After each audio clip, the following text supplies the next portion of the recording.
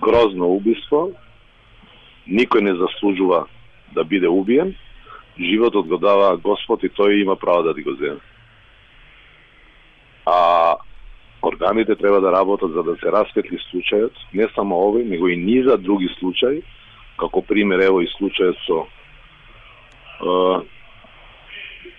бившиот надлежен за осигурување на општината, што работеше кај мене во општина, што ден денеска уште ништо не знаеме.